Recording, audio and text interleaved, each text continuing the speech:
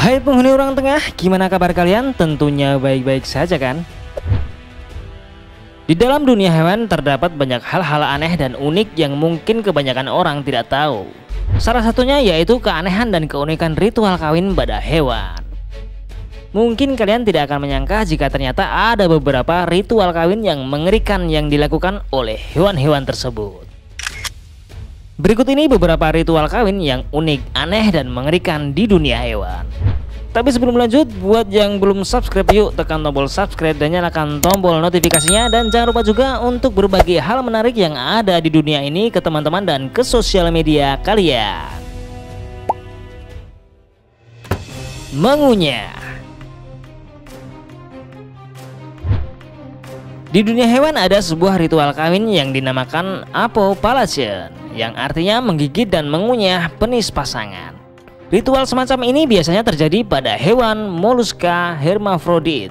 Salah satu hewan yang mempraktekkan ritual kawin semacam ini adalah siput pisang.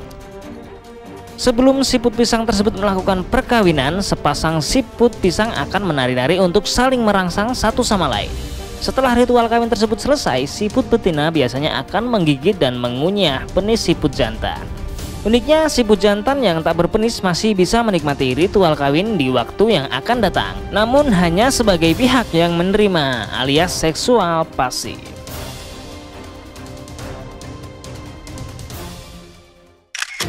Bisa dilepas Ritual kawin semacam ini sangat jarang terjadi di dunia hewan. Laba-laba jenis Tidaren dan Nepilagis merupakan laba-laba dengan penis terbesar, sehingga pada saat laba-laba Tidaren jantan kawin, ia akan menghancurkan penisnya sendiri sampai-sampai penisnya terpisah dari tubuhnya. Penis pada laba-laba jantan jenis ini dapat dilepas dan tetap terletak di dalam kelamin laba-laba betina untuk terus membuahi telur-telur yang akan ditetaskan. Cara ini merupakan cara yang paling efektif bagi spesies tersebut mengingat mereka yang bersifat kanibal.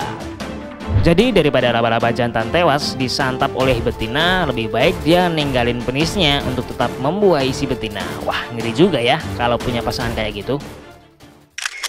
Hipnotis Beberapa siput laut seperti siput dalam keluarga Sipopteron jantan memiliki kemampuan hipnotis. Lebih tepatnya memasukkan cairan kimia ke dalam tubuh siput betina supaya mau diajak untuk kawin. Siput laut jantan akan memasukkan semacam jarum ke dalam kepala betina. Jarum tadi akan memasukkan semacam senyawa kimia ke dalam tubuh atau kepala siput betina. Dengan cara inilah siput jantan akan mempengaruhi perilaku betina dan akhirnya mau diajak untuk kawin. Betina yang memasukkan Neutrogla adalah spesies serangga yang banyak hidup di pedalaman gua Brazil. Neutrogla betina memiliki alat kelamin berbentuk seperti penis berduri. Dan sebaliknya, serangga Neutrogla jantan memiliki alat kelamin berupa lubang dalam tubuhnya.